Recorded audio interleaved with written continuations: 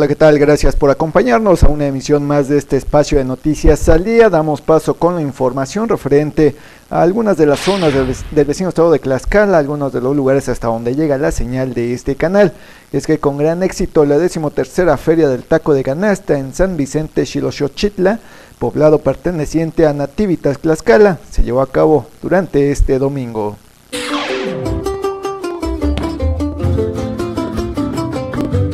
Las calles de la comunidad de San Vicente Xiloxochitla registraron un flujo importante de personas que se dieron cita a la decimotercera Feria del Taco de Canasta, que se desarrolla cada primer domingo del mes de diciembre, siendo ya una tradición.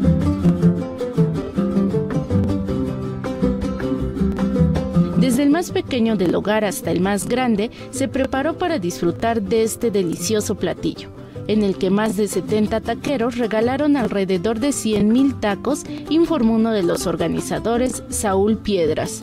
Taqueros traigo como, como 70 taqueros apoyándome, más, más aparte de taqueros que vienen este, en el momento de allá de México, que están trabajando, se nos hacen ver en la tarde. O sea, ahorita de hecho, eso es, yo creo, un 10%, 20% de lo que estamos se deja llegar más taqueros de, allá de, México. Es que cada quien regala cantidades, a veces que puede ser entre 500 mil tacos, ¿sí? Entonces, para ser, para exacto, no te podría decir una cantidad, pero sí son miles, miles. Por decir, una canasta mediana este, normalmente viene siendo 800 mil tacos. Tal popularidad ha alcanzado este platillo que reúne gente de distintos estados, quienes acuden a probar tacos de papa, chicharrón y los tradicionales de frijol, pero también pueden encontrar sabores como cochinita pibil, adobo con pollo, mole verde, entre otros. vienen de muchos estados, vienen de lo que es del estado de Oaxaca, de Veracruz, vienen muchos de la Ciudad de México, de Puebla, vienen de muchos lados, hay mucha gente hasta de San Luis viene. Entonces, de hecho, lo que nosotros estamos haciendo este, este tipo de evento para darnos más, cada vez más a conocer. De hecho, 4.000 familias de la comuna están dedicadas a la elaboración de estos tacos que le han dado gran popularidad, por lo que pueden encontrar comerciantes de este antojito en toda la geografía de Tlaxcala y estados circunvecinos.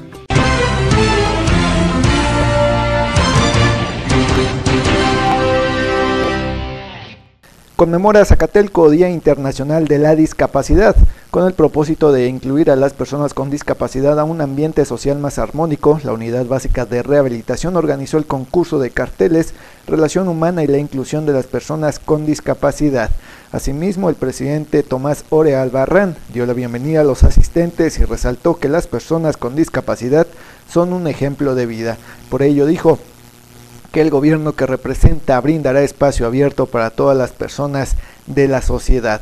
De ese mismo modo se comprometió a seguir realizando las acciones pertinentes de trabajo con la finalidad de lograr igual número de condiciones y oportunidades para las personas con discapacidad. La ponencia estuvo a cargo del abogado Alberto Sánchez Lima, quien destacó por su intelecto y profesionalismo, porque a pesar de contar con una discapacidad visual, no fue impedimento para estudiar y lograr sus objetivos. Durante dicha ponencia señaló que los gobiernos municipales, estatales y federales han ofrecido apoyos, pero destacó que necesitan más estructuras pensadas para los discapacitados. Y bueno, con más de la información dentro de lo relacionado a aquella zona y dentro de la información también de interés general, se lleva a cabo interacción entre la educación universitaria actualizada y el sector laboral de Tlaxcala. La educación en general en el sector empresarial han ocasionado que los planes curriculares de las universidades se modifiquen, privilegiando ahora la interacción entre los estudiantes y la industria. Quedaron atrás los años en los que todo se aprendía en las aulas, que si bien son una parte importante del proceso, no representan el 100% de la formación profesional. Universidades como la Politécnica de Tlaxcala, región poniente en Hueyotlipan, le han apostado a la modalidad dual, insertando a sus alumnos a la dinámica empresarial desde el cuarto semestre. Como ejemplo, Jaime y Juan. Ellos, guiados por la docente Isabel Guerrero, iniciaron un proyecto de geolocalización para una empresa de desarrollo de software ubicada en Chautempan. Lo trabajamos en conjunto con, esta empresa y fue financiado por parte de CONACIT. CONACIT cada año lanza un programa de estímulos a la innovación. Nosotros participamos en conjunto con la empresa y desarrollamos un proyecto. que trata en geolocalizar en tiempo real las madrinas, los, este, carros que transportan autos nuevos, desde que vienen em, o llegan del embarque del puerto hasta que llegan a un distribuidor. La idea de conjugar la vida estudiantil con el empresarial tiene el objetivo de facilitar su inserción al sector productivo una vez que terminen sus estudios o incluso antes si las empresas lo requieren. Es una experiencia que la verdad nunca había tenido, ¿no? Poder, poder participar en este tipo de proyectos y tener el beneficio de, de ya estar colaborando con una empresa.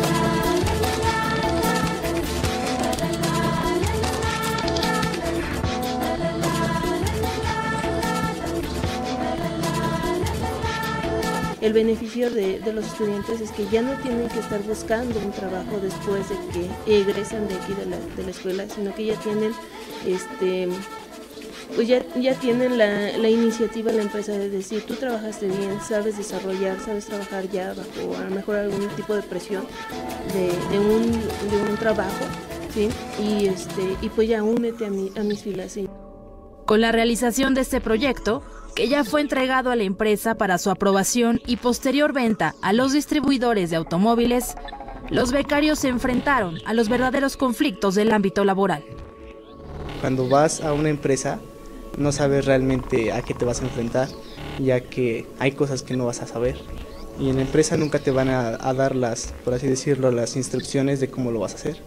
Debes aprender por tu propia cuenta. Se nos dificultó mucho este, en este proyecto porque lo que ellos nos pedían que hiciéramos o en las plataformas no las conocíamos, en la escuela no, no nos enseñan mucho sobre esas plataformas. Entonces nosotros tuvimos que investigar, este, capacitarnos para poder desarrollar este proyecto. De acuerdo con cifras de la Secretaría de Educación Pública del Estado, las universidades tecnológicas de Tlaxcala alcanzan entre el 75 y el 85% de inserción laboral de sus egresados, cifra que, aunque es positiva, compromete a las escuelas a trabajar por empatar el perfil y las competencias de estos universitarios con el objetivo de ofrecer mejor mano de obra al sector productivo.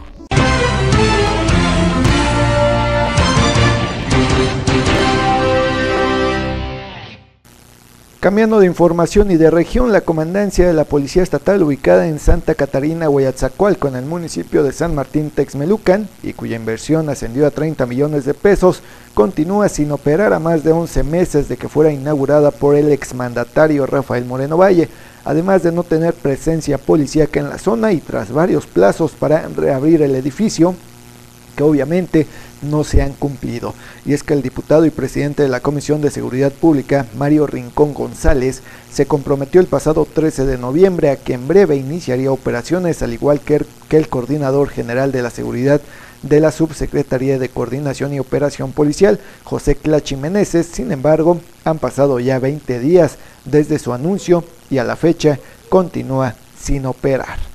En otra más de las notas, ya dentro de lo que es esta misma región, aquella misma región de Texmelucan, realizan en Texmelucan Festival World of Fame con 400, 450 participantes. Este fin de semana se llevó a cabo el sexto Festival World of Fame en San Martín Texmelucan, mismo que albergó a 450 representantes de diversas expresiones de arte urbano como skate, rap, graffiti y breakdance, se realizaron en diferentes espacios públicos del municipio, como el Centro Comunitario, la Unidad Deportiva Ángeles Blancos y la Primaria Vicente Guerrero, en donde los jóvenes expresaron sus expresiones eh, bueno, valga la redundancia, sus expresiones artísticas y al respecto las autoridades refrendaron su compromiso con todos los jóvenes del municipio para seguir impulsando todas y cada una de sus actividades, así como habilidades que permitan seguir disfrutando de su arte y cultura. Pues ahí algunas de las imágenes de lo que fue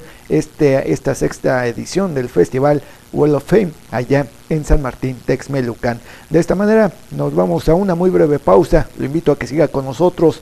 Vamos y regresamos con lo relacionado a algunos de los municipios del octavo distrito.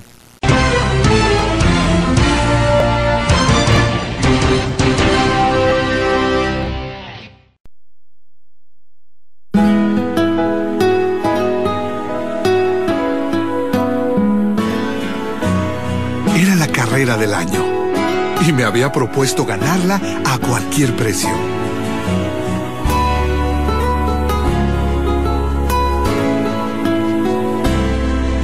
Pero a veces suceden cosas que uno no puede explicar.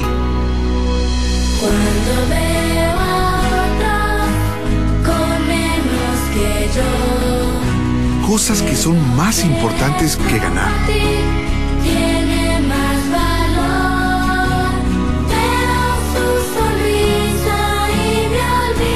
Recuerdo quién ganó la carrera aquel día. Es muy importante. Pero nunca olvidaré cómo me sentí. Incluyamos a otros. Pásala. Un mensaje de la Fundación para una vida mejor. Farmacia Vita Pharma 2 le ofrece todo tipo de medicamento de patente, genérico y similar además de lácteos y una gran variedad en artículos de perfumería. Contamos con descuentos del 30 al 50% y un descuento especial a personas con credencial del INAPAM. Farmacia Vita Farma 2 le sigue atendiendo en Plaza Principal, lado sur número 201, Colonia Centro en Huejotzingo, en un horario de 8 de la mañana a 10.30 de la noche. Servicio a domicilio al 27 6 16 23. Farmacia Vita Farmado. En Funerales Oliver innovamos constantemente para ofrecerles siempre el mejor servicio. Contamos con cruz de cedro, pino, aluminio y de metal con el mejor precio y calidad, así como los servicios que usted ya conoce. Inhumaciones, exhumaciones, crematorio ecológico, capilla de velación, sala de embalsamado, exhibición de ataúdes, estacionamiento y servicio de carroza. Además, realizamos traslados nacionales, internacionales y desde cualquier parte de Puebla hacia Huejotzingo. Le atendemos las 24 horas, los 365 días del año en Avenida Miguel Jerónimo Martínez, 1101, cuarto barrio en Huejotzingo y en Boulevard Forjadores en Manantiales. Llámenos 227 27 60405. Recuerde que el buen trato y calidad no tienen por qué costarle más. Funerales Oliver, certificados ante salubridad. Pregunte por nuestros paquetes a previsión.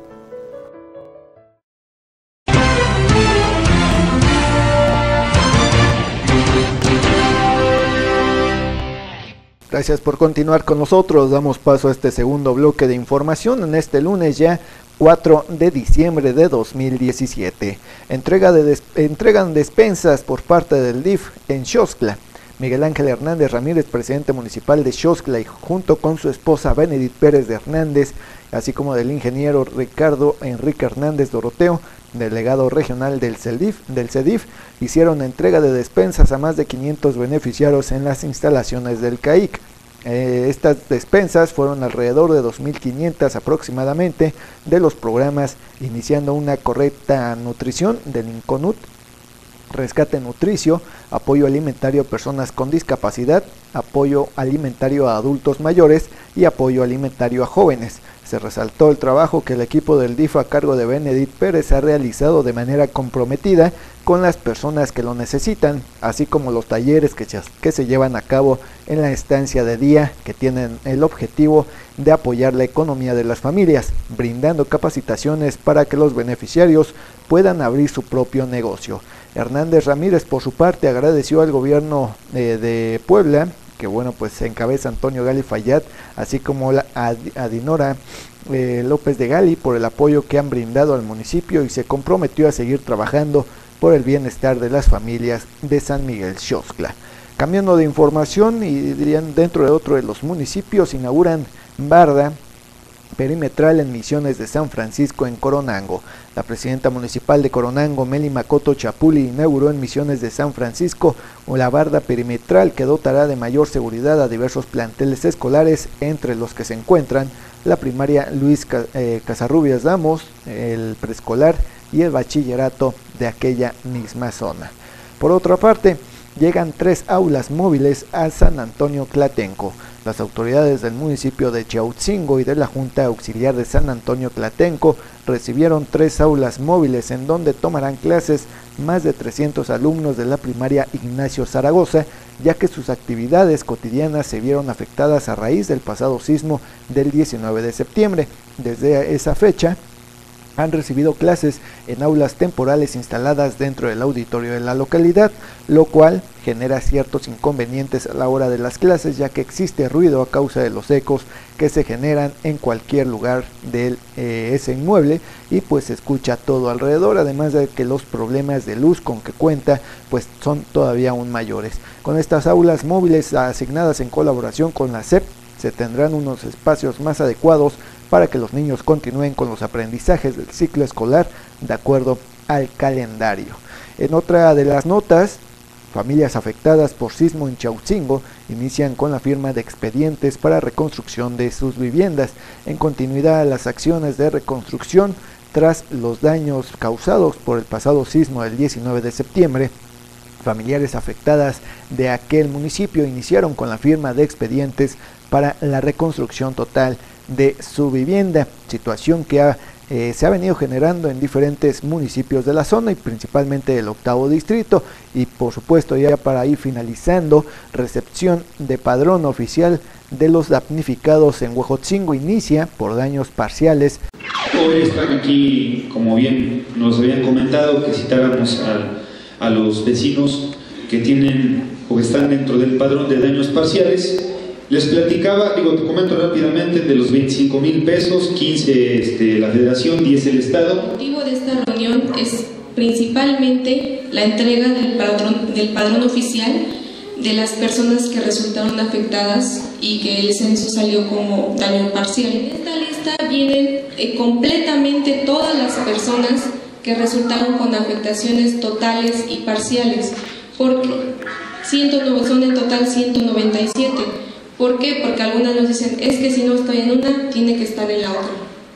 Como bien les mencionaba, el licenciado Juan Carlos Lastiri nos hizo un énfasis a nosotros en que no había daños menores. Cualquier afectación que a usted le haya pasado cuenta y necesita una reparación. Entonces, todas las personas que fueron evaluadas fueron integradas a este censo. Ya nos comprometimos nosotros a volver a visitarlos en sus casas para que les avisemos día y hora. Y en un momento dado, si no hay día y hora para que todos nos reunamos, que nos hagan favor de esperarnos en su casa. Es importante que la persona que ustedes mencionaron cuando se realizó el censo esté presente, que se encuentre y que tenga a la mano los papeles que les van a mencionar eh, bueno, anterior a esto.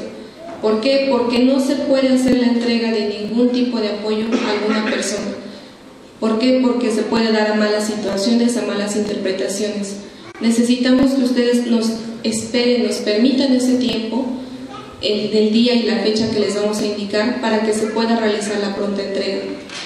También para que ustedes avancen con la reconstrucción de sus viviendas y se pueda acelerar todo este proceso. Se les va a entregar a ustedes la tarjeta hacia, podría ser hacia eh, eh, a más tardar la primera quincena de este mes, puesto que podría ser entre el 10 de diciembre y 11 de diciembre, aunque es domingo no importa, ¿eh? me habían propuesto esas fechas, yo no tengo inconveniente, yo no tengo inconveniente, puede ser cualquier día de la semana, ya nada más es cuestión de que ellos me confirmen específicamente en qué fecha va a ser para poderlos convocar o en un momento dado para hacer la visita casa por casa y entregar la tarjeta correspondiente y se puede utilizar para resanar los daños, en este caso que tuvieron sus viviendas. Eh, por otro lado, también vale la pena comentar que al momento que se entregue la tarjeta, de manera muy específica, se van a dar a conocer las reglas de operación. Son muy sencillas. O sea, por ejemplo, si la señora eh, se dañó su, su, este, su revocado, pues le van a decir, mira, te vamos a dar la tarjeta, eh, una administración en la tarjeta viene de 15 mil y otra viene de 10 mil. Cuando te damos la de 15 mil, nada más es cuestión de que eh, con el visitador le des un reporte de que ya por lo menos compraste materiales y ya estás avanzando. Para que, para que en ese momento se palomee, así va a ser en el tema del, otro esquema del daño total.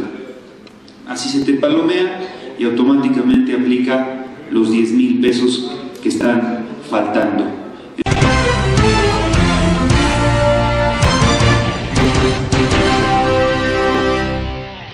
De esta manera es como llegamos a la parte final de este espacio informativo de Noticias Salía y bueno, pues ya lo sabe, acompáñenos cada lunes y miércoles alrededor de las 9 de la noche, así como los días viernes en una emisión o en una transmisión a partir de las 10 de la noche. Pásela muy bien, le deseamos tenga una gran semana y lo esperamos aquí en nuestra siguiente emisión. Esto ha sido todo por esta ocasión.